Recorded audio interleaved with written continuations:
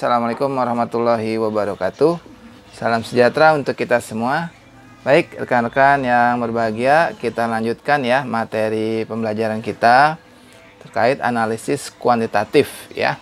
Nah, kali ini kita akan membahas uh, tentang korelasi dan regresi linier gitu ya. Jadi uh, ini ada di modul ya, teman-teman tinggal lihat saja modulnya. Sekarang uh, saya akan bahas terlebih dahulu uh, materi ini ya, korelasi correlation ya.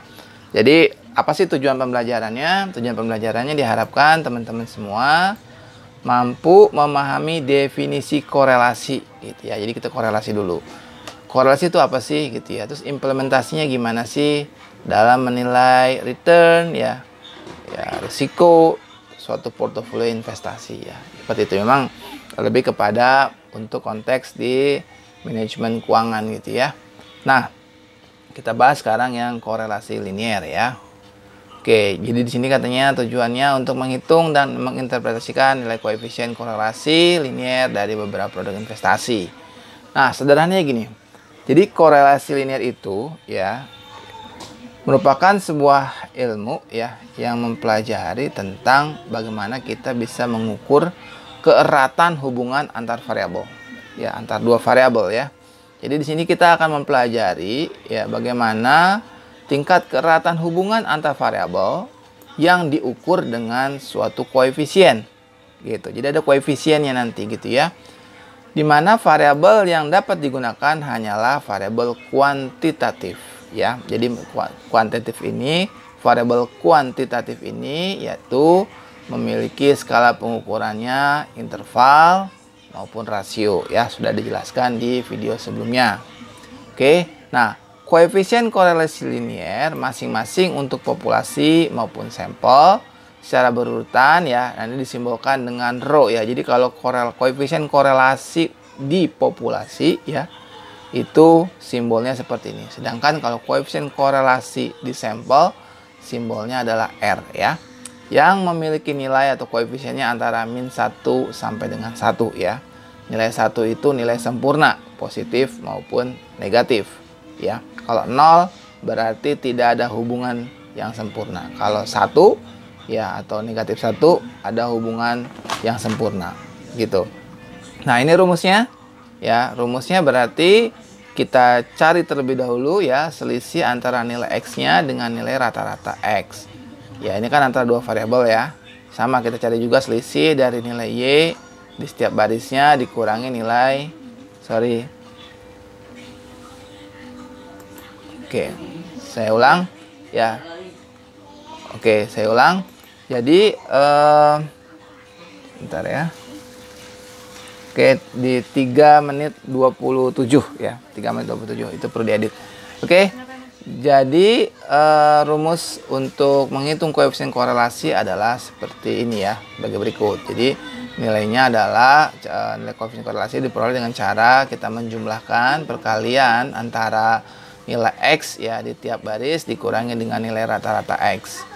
Juga nilai rata uh, nilai y dikurangi dengan nilai rata-rata y-nya. Terus nanti kita kita kalikan masing-masing ini lalu kita jumlahkan ya dibagi ya simpangan baku X dikali simpangan baku Y dikali N-1 gitu ya untuk memudahkan ini enaknya kita e, langsung praktekkan saja dalam latihan soal ya. Kita menggunakan di sini saya akan menggunakan Excel saja.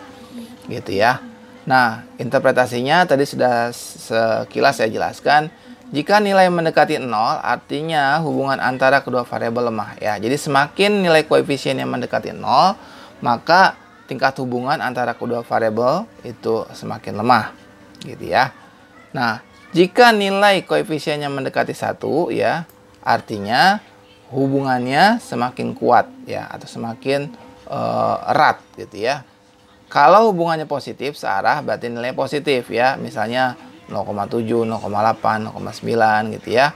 Maka katanya jika nilai x-nya uh, naik, maka ada kecenderungan uh, nilai Y-nya juga akan naik gitu. Ya. Ada kecenderungan seperti itu. Begitu pula sebaliknya kalau nilai Y-nya naik ada kecenderungan nilai X-nya naik karena ini sifatnya resiprokal ya, bukan kausalitas ya, bukan sebab akibat. Jadi korelasi itu mengukur tingkat keratan hubungan ya, bukan penyebab ya atau bukan sebab akibat gitu ya. Kalau nilai koefisiennya positif, maka kalau nilai X-nya naik ada kemungkinan Y-nya juga naik ya atau diiringi juga dengan peningkatan nilai Y. Kalau nilai Y-nya naik juga akan diikuti dengan uh, peningkatan uh, nilai Y yang juga naik gitu ya. Tapi kalau nilainya negatif ya seperti ini, nilainya negatif, maka berlawanan ya. Jika nilai X-nya naik, maka Y-nya akan turun. Jika Y-nya naik, X-nya akan turun. Gitu ya, kebalikannya. Ya, jadi semakin mendekati 0, berarti tingkat keratan hubungannya semakin lemah. Semakin mendekati satu, positif maupun negatif, berarti tingkat keratan hubungannya semakin kuat. Gitu ya. Oke. Nah, di sini di oke, ini ya, tadi udah dijelasin ya. 0 itu berarti nggak ada korelasi. Ya, kalau dia koefisiennya negatif ya semakin mendekati min 1 berarti semakin kuat ya, strong. Kalau min 1 berarti perfect ya korelasinya sempurna ya nilainya negatif kalau ke sini kalau ke kanan ya dia semakin mendekati satu juga semakin kuat tapi positif ya tadi sudah sempat jelaskan cara untuk mengetahui lah ya eh, atau mengidentifikasi tingkat keratan hubungan antara dua variabel yang pertama dengan nilai plotnya ya dengan scatter plotnya kita bisa ukur Nanti kalau dia seperti ini ya berarti dia kan negatif ya. Kalau ini naik, ini kan ya kita lihat ya. Kalau x-nya satu misalnya ya, ini y-nya di sini. X-nya naik 2, dia mal y-nya malah turun. X-nya naik 3, dia juga turun gitu ya. Kalau yang positif ini adalah searah. Kalau x-nya naik, x-nya satu di sini, y-nya di sini. X-nya 2 ya kita lihat y-nya naik. Ya x-nya 3, y-nya naik. Itu kalau positif ya. Nah ini contoh nih ya, contoh diketahui harga saham A dan harga saham B sebagai berikut. Ini harga saham A, ini harga saham B ya. Kita pengen tahu nih keratan hubungan antara saham A dan saham B atau saham A saham A dengan saham B ini punya hubungan nggak sih gitu ya? Punya punya keterkaitan nggak sih uh, punya keterkaitan nggak sih satu sama lainnya gitu ya? Nah tahap pertama bisa kita cek dari scatter plotnya ya. Ya scatter plot. Tapi kan uh, untuk kalau gambar itu mungkin uh, relatif lebih sulit ya. Lebih mudah kalau kita uh, de dengan sebuah koefisien ya. Jadi ini kita coba kerjakan soal ini dengan menggunakan uh, rumus ya rumus tadi. Jadi di sini uh, untuk memudahkan saya akan bikin dua layar ya supaya teman-teman bisa lihat. Ini rumusnya. Oke kemudian ini juga Excel ya. Nah ini Excelnya juga kita buat dua layar ya seperti ini. Oke untuk memudahkan ya. Oke bentar ya saya perbesar dulu. Oke. Oke ya ini rumusnya ya oke ini rumusnya. Cukup deh segini ya. Oke ya. Ini tadi sudah saya kerjakan uh, untuk memudahkan ini mungkin saya uh, hapus dulu ya. Saya hapus saja ya supaya untuk uh, lebih mudah kita atau lebih bisa dipahami. Bentar ya. Saya coba rapikan dulu sebentar. Kelas seginilah. Cukup. Apakah cukup segini saya rasa cukup lah ya oke lah ini udah kelihatan semua ya Oke, ya ini saya hapus dulu. Ya, ini saya hapus terlebih dahulu datanya atau hasil perhitungannya. Oke, ini datanya ya. Ini data yang tadi ada di modul ya. Ini harga saham A, ini harga saham B gitu ya. Ya. Kita pengen tahu tingkat keratan hubungan antara dua saham ini. Ada ada nggak? Jadi kalau saham A diikuti dengan peningkatan saham B nggak sih? Kalau saham A naik, saham B ikut naik nggak sih gitu? Kalau saham B naik, saham A ikut naik nggak sih? Kayak gitu ya. Ada keterkaitan apa enggak? Nah, dari data ini, tahap pertama yang kita lakukan, ya kalau kita lihat rumus di sini ya, kita harus tahu dulu nilai rata-ratanya dari setiap variabelnya itu variabel X. Di sini saham A saya berikan simbol X, ya dan juga saham B saya berikan simbol Y, gitu ya. Jadi kita hitung dulu rata-ratanya ya. Ini kalau pakai Excel ya, tentu teman-teman sudah tahu menghitung nilai rata-ratanya adalah sama dengan average, sama dengan average. Oke, seperti ini. Oke ya. Terus kemudian yang uh, nilai variabel juga kita hitung nilai rata-ratanya dengan cara yang sama ya. Atau langsung saja di copy paste ke sebelahnya. Oke. Nah sekarang kita hitung ini selisihnya ya selisih dari nilai observe-nya dari variabel x ya di setiap barisnya dengan nilai rata-ratanya ya. Jadi di sini eh, 7700 dikurangi 7712,5 agar bisa langsung kita copy paste kita kunci dia pakai F4 ya. Ter seperti itu. Jadi kita tinggal copy paste saja tarik ke bawah selesai gitu ya. Dari mana min 2,5 yaitu dari 76 50 dikurangi 7712,5. Ya, dari mana 37,5 yaitu dari 7750 dikurangi 7712,5 dan seterusnya ya. Begitu pula yang kolom yang E ini ya. ya jadi nilai nilai observe dari Y ya yaitu yang ini masing-masing barisnya kita kurangi dengan nilai rata-ratanya. Nilai rata-rata dari variabel Y ini ya.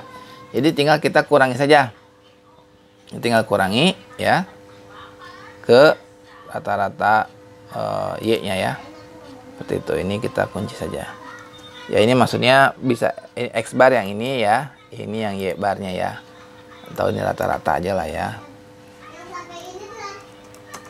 Ya maksudnya minnya lah ya. Oke gitu ya.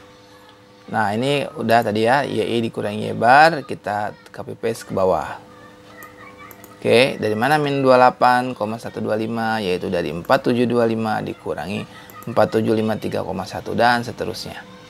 Nah, sekarang ya kalau kita rumus ini nih ya, ini kan ada simpangan baku ya. Dari simpangan baku itu diperoleh dari akar ya. Nanti penjumlahan ini ya. Uh, ini kita jumlahkan terus nanti dibagi n min 1 ya. Ini sudah dibahas di video sebelumnya ya untuk menghitung simpangan baku. Ini saya review sedikit saja. Jadi ini tinggal dipangkatkan dua ya, dikuadratkan. Ini kita kuadratkan yang kolom D. Ini kita kuadratkan. Ini kita tarik saja ke bawah. Oke, seperti itu ya. Kemudian kita jumlahkan ya. Untuk menghitung simpangan baku itu rumusnya kan akar dari jumlah ini ya jumlah yang ada di kolom F ini. Ya tentu nanti dibagi N-1 gitu ya.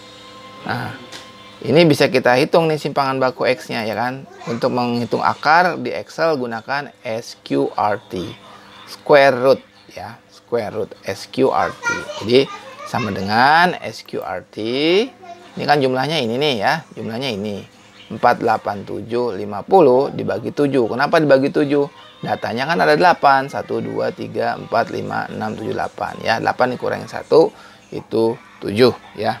Oke, coba kita cek ya ke modulnya ya. Supaya teman-teman paham. Oke, ya, lihat di modulnya. Nah, ini ya. Nih. Ini ya. Jadi, eh, N min 1 ini rumusnya kan. Simpangan bakunya. Ya, jumlah dari X min X bar kuadrat dibagi N min 1.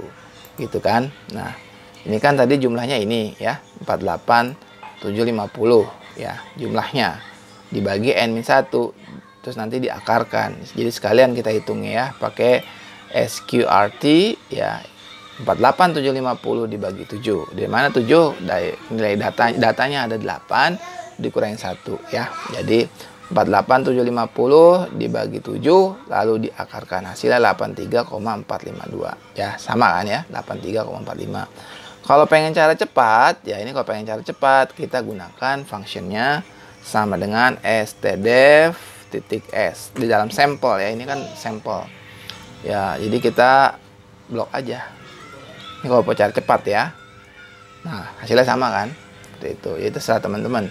Ya, dihitung manual seperti ini rumusnya ya, seperti ini rumusnya. Kalau dihitung cara cepat, ini menggunakan functionnya adalah stdef titik s. Oke. Nah, siapa saja.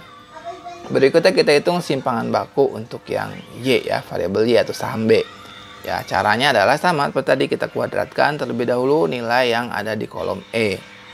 Ya, kita kuadratkan ya, seperti ini. Tarik aja ke bawah.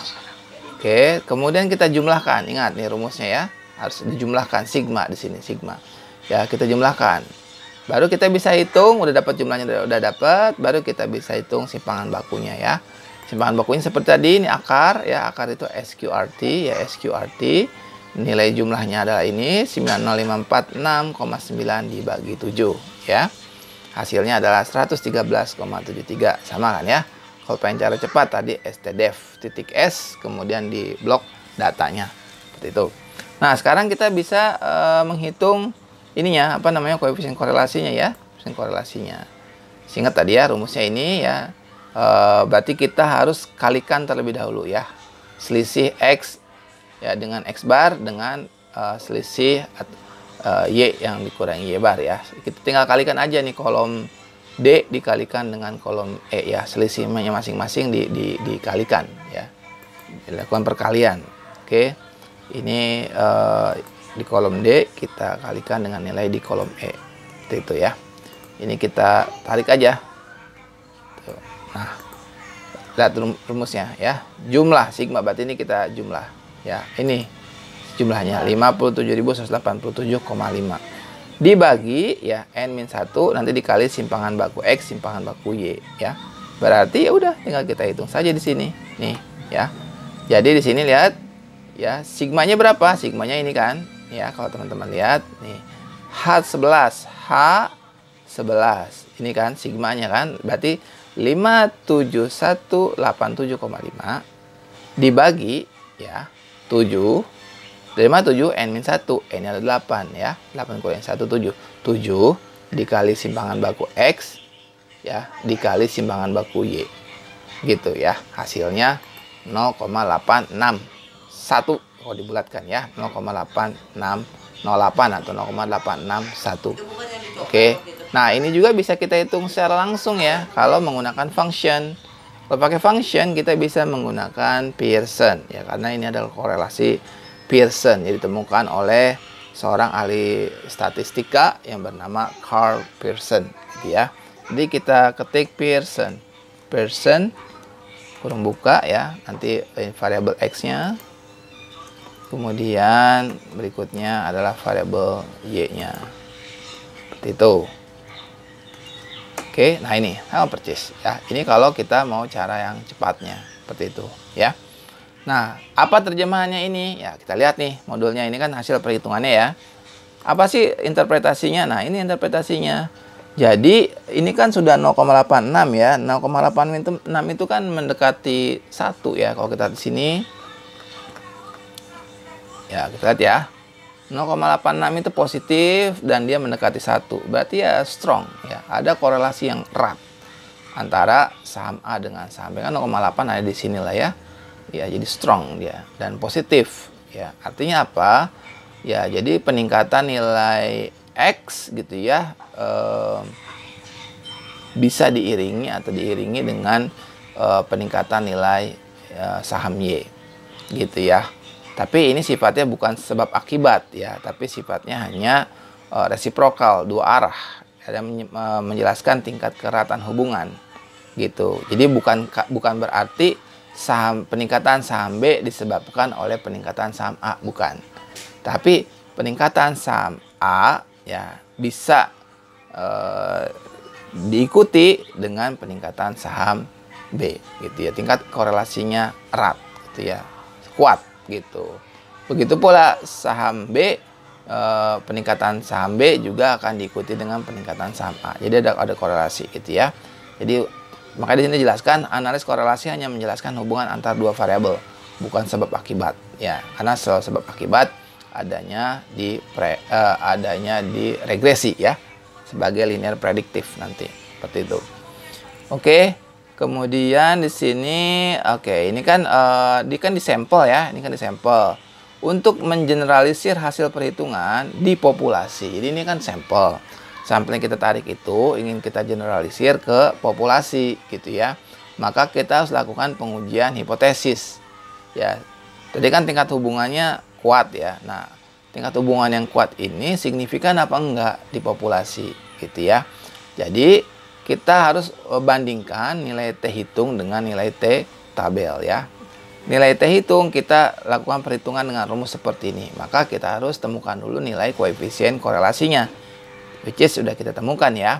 Nah, kita juga harus tahu berapa sih nilai T tabelnya. Nilai T tabel ini bisa teman-teman peroleh di tabel T ya. Cari aja di di Google ya, di browse aja atau kalau mau pakai Excel juga bisa. Kita menggunakan alfanya 5% ya. Kemudian tentu saja derajat bebasnya adalah N-2. Ini kan sama N-2 ya. Derajat bebasnya N-2. Kita bisa cari di Excel menggunakan function ya. Jadi untuk pengujian hipotesis ini saya catat ya. Untuk pengujian hipotesis kita harus bandingkan kita bandingkan nilai T hitung dengan T tabel ya which is kalau T hitung kita hitung ada rumusnya. Kalau T tabel ya T tabel itu kita bisa menggunakan functionnya adalah TINV ya TINV terus nanti eh, apa namanya probabilitasnya berapa terus kemudian derajat bebasnya berapa. Ya seperti itu ya. Berapa nilainya? Nah ini ya T tabel kita. Kan uh, uh, alfanya ya probabilitasnya 0,05 ya kan? Terus derajat bebasnya adalah n-2 kan berarti 8 min 2 8 min 2 berarti kan 6 ya. Berapa nilainya? Kita ketik, ketik aja di sini sama dengan TINV kurung buka ya. Probability-nya adalah 0,05 degree of freedom-nya adalah 6 gitu ya. Nah ini nilainya 2,446 ya.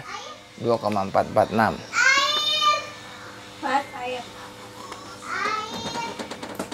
Oke ya, atau dibulatkan menjadi 2,447 ya. Nah, ya udah berarti kita sekarang hitung nilainya T-nya, T hitungnya kita hitung ya. T hitungnya kita hitung. Ya, sekarang kita cari nilai T hitungnya gitu ya. Nah, ini tadi kan nilai korelasinya udah ketemu nih 0,861 ya. Tinggal masukin aja sini. Nih ya.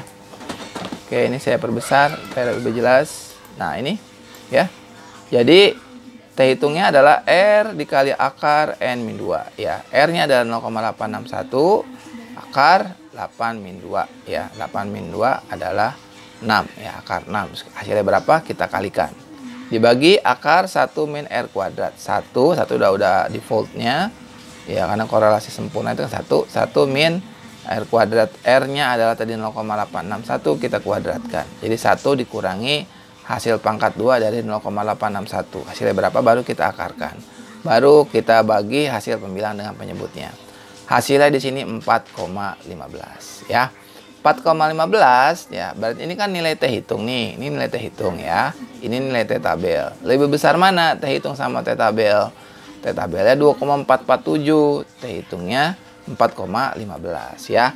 Jadi kalau uh, nilai T hitung kita lebih besar dari nilai T tabel, maka keputusannya H0-nya ditolak. Ya, H0-nya ditolak. H0 itu apa? H0 di sini dikatakan koefisien korelasi linear populasi sama dengan 0. Dengan kata lain ya, bahwa tidak ada hubungan yang signifikan ya antara eh, saham A dengan saham B. Tapi kalau H, H0-nya diterima, ya berarti H1-nya atau hipotesis alternatifnya ditolak, berarti ada ya. Berarti uh, sorry saya harus koreksi ini kalimatnya jadi nggak nyaman ya. Ya jadi di sini h 0 nya adalah koefisien korelasi linear populasi sama dengan 0 artinya kalau h 0 yang diterima berarti korelasi antara uh, saham A dengan saham B itu tingkat keratan hubungannya tidak signifikan ya. Atau tidak bisa merepresentasikan di populasi gitu ya. Nah, sedangkan di sini ya kalau H1 H1 itu kan di sini rho-nya tidak sama dengan 0 ya. Jadi koefisien korelasi linear populasi tidak sama dengan 0. Maksudnya apa? Maksudnya bahwa e, kalau H1-nya diterima ya, e, maka e, dalam contoh kasus ini e, saham A dengan saham B memiliki tingkat hubungan yang signifikan gitu ya. Nah, kalau H0 diterima, maka H1 ditolak, pasti ditolak ya. Atau H0 diterima, alternatifnya pasti ditolak. Tapi kalau H0 ditolak, alternatifnya diterima ya. Nah, di sini kan H0 ditolak jika T lebih besar dari T tabel ya. T hitung lebih besar dari T tabel gitu ya. Nah, ini kalau positif ya, kalau negatif yang ini gitu ya. Nah, eh, tadi kan kita nilai T hitung kita lebih besar kan T hitung kita kan 4,15 ya. T tabel kita adalah 2,447.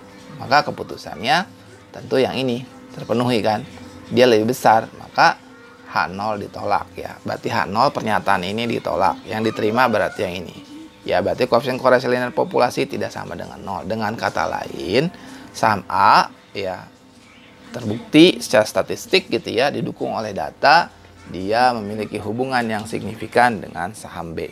Seperti itu ya, tingkat keratan hubungan di antara kedua saham tersebut itu signifikan. Oke. Nanti kita akan lanjut lagi ke topik pembahasan berikutnya yaitu terkait regresi linier ya.